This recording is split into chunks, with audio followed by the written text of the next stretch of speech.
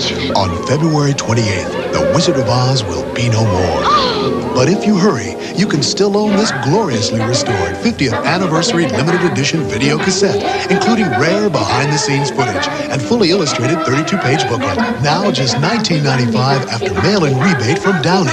Don't let another 50 years go by. Get your copy of The Wizard of Oz today before it becomes a memory.